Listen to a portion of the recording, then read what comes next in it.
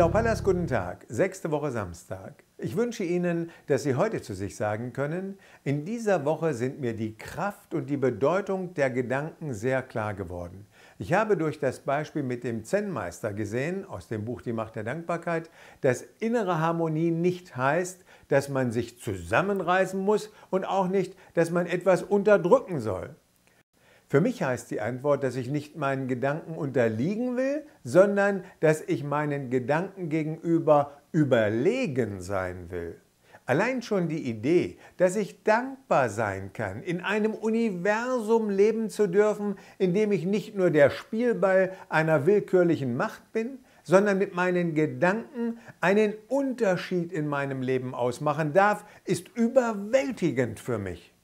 An dieser Stelle wird mir auch bewusst, dass ich deshalb zu einer völlig falschen und viel zu negativen Bewertung der Welt gekommen bin, weil ich so viel Wünschenswertes als selbstverständlich angesehen habe und jedes bisschen nicht Wünschenswertes gleich auf die Waagschale geworfen habe.